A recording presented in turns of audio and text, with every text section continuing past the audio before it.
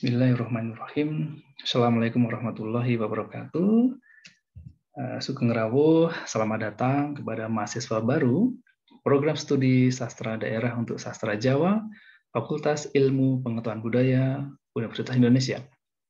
Kami ucapkan selamat, Anda telah diterima di UI. Pada kesempatan ini, saya akan menyampaikan beberapa hal penting. Uh, yang pertama adalah peraturan akademik untuk dapat menyandang gelar sarjana ada beban studi yaitu harus mencapai 144 SKS. Maksimal Anda dapat mengambil 160 SKS. Nah, masa studi adalah minimal 7 semester, maksimal 12 semester. Anda juga harus melakukan registrasi, administrasi, dan akademik. Juga di setiap awal semester Anda harus mengisi isian rencana studi, di sistem informasi akademik atau NG. Nah, untuk ini Anda harus berkonsultasi dengan pembimbing akademik. Nanti saya akan menyampaikan daftar pembimbing akademik atau PA masing-masing. Ini tampilan NG-nya. Eh, Anda dapat menulis pesan untuk PA Anda di sini. Nanti PA akan juga eh, menanggapi. Di sini adalah mata kuliah yang Anda ambil. Ini hal yang sangat penting, yaitu ada namanya evaluasi belajar, terutama di semester ke-2, 4, 6, 8, 10, 12, ada hal penting yang Anda perhatikan. Misalnya di semester kedua, Anda minimal harus mencapai 24 SKS dan nilai minimal C. Kalau tidak mencapai ini, mohon maaf, Anda terkena evaluasi belajar putus studi. Ini adalah range nilai, semoga semua dapat nilai A. Nah, untuk mengambil mata kuliah SKS itu sangat tergantung dengan IPS, Indeks Prestasi Semester. Saya berharap Anda mencapai IPS 3,50 sehingga Anda berhak untuk mengambil 24 SKS. Uh, terkait dengan pandemi COVID-19 yang saat ini belum mereda, mohon maaf, perkuliahan, pembelajaran belum bisa dilakukan secara langsung.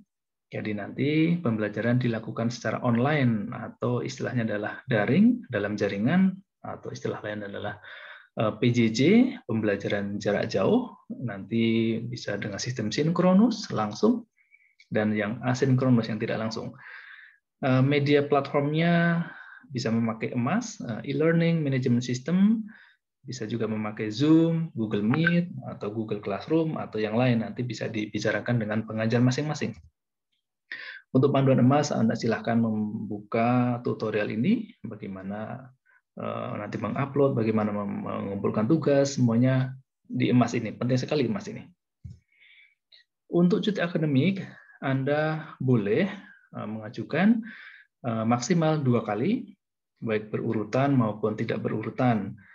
Eh, tapi syaratnya Anda telah mengikuti kegiatan akademik sekurang-kurangnya dua semester, kecuali untuk cuti akademik karena alasan tertentu. Eh, cuti akademik ini tidak dihitung sebagai masa studi yang tadi maksimal 12 SKS itu. Nah, di Prodi Sastra Jawa FIBUI, eh, bidang keilmuan yang akan kita pelajari ada lima, yaitu yang pertama kemahiran berbahasa Jawa, bahasa Jawa 1 sampai 4, kemahiran eh, keilmuan filologi, nanti kita belajar naskah tentang bidang keilmuan linguistik, eh, fonologi, morfologi, sintakse, semantik, bidang sastra, nanti kita belajar tentang kajian prosa, puisi, drama, dan juga kajian budaya. Nanti kita belajar eh, tentang filsafat Jawa, religi Jawa, peranata Jawa. Saya yakin pengetahuan ini sangat menarik dan sangat penting untuk kehidupan ini. Tentang sebaran mata kuliah per semester, di semester 1 Anda wajib mengambil 18 SKS. Saya harap lulus semua di semester 1 ini. Eh, di semester kedua ada 21 SKS, Semester ketiga 21 SKS. Semester keempat 22 SKS. Semester kelima ada 22 SKS dan Anda sudah boleh mengambil mata kuliah lintas prodi bagian dari kurikulum Merdeka Belajar. Di semester 6 juga 21 SKS, MK, MK pilihan lintas prodi, dan bisa mengambil delapan kegiatan Merdeka Belajar itu. Salah satunya adalah magang, tapi tetap juga harus dikonsultasikan dengan PA masing-masing. Di semester ke-7 juga penting sekali ada tugas akhir, itu seperti skripsi kalau zaman dulu. Eh, saya sarankan mulai sekarang Anda sudah boleh memikirkan nanti saya mau eh, meneliti apa ya, karena memang menurut saya sih tidak mudah, tidak sederhana untuk mencari sebuah permasalahan penelitian di situ tentang kegiatan ekstrakurikuler, eh, semoga nanti kita dapat eh, bertemu setelah eh, pandemi ini tidak ada. Ada ekstrakurikuler wayang, ada ekstrakurikuler gamelan Jawa atau keretan Jawa, ada juga tari, juga mocopat. Seru sekali, semoga nanti kita bisa bertemu di kampus. Nah, Terakhir saya sampaikan daftar pengajar dan bidang ilmu masing-masing. Yang pertama adalah Ibu Titik Pujastuti, beliau adalah pakar di bidang filologi. Ada Bapak Pratoyono, beliau pakar di bidang sastra.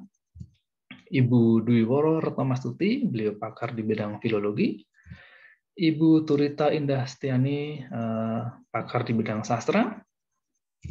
Ada Ibu Sri Suryati Sutarjo, eh, pakar di bidang filsafat Jawa. Ada Ibu Murni Widestuti, bidang kepakaran beliau adalah filologi. Ada Bapak Darmoko, pakar di bidang sastra. Ada Ibu Dwi Puspitorini, pakar di bidang linguistik. Uh, tapi mohon maaf untuk semester ini mungkin bisa uh, belum bisa bertemu secara langsung karena beliau masih bertugas di Jepang. Insya Allah nanti tahun depan bisa bertemu secara langsung. Ada Bapak Imade Sparto, uh, ahli di bidang filologi. Ada Bapak Munawar Khalil, ahli juga di bidang filologi. Ada Ibu Novika Stribrihatni, eh, pakar di bidang linguistik. Ada Ibu Widya Maramurti, pakar di bidang linguistik juga. Juga Bapak Dwi Rahmawanto, bidang keahlian linguistik. Ada juga Ibu Atin Fitriana, juga eh, pakar di bidang linguistik.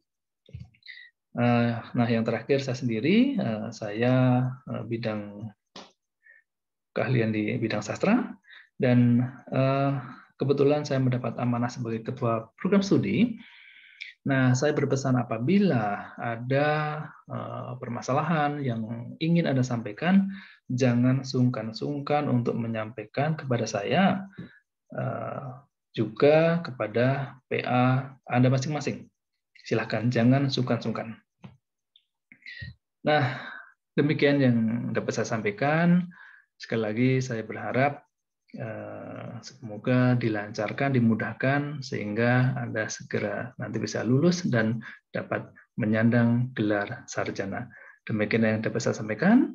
Akhirul kalam. Assalamualaikum warahmatullahi wabarakatuh. Matur nuwun.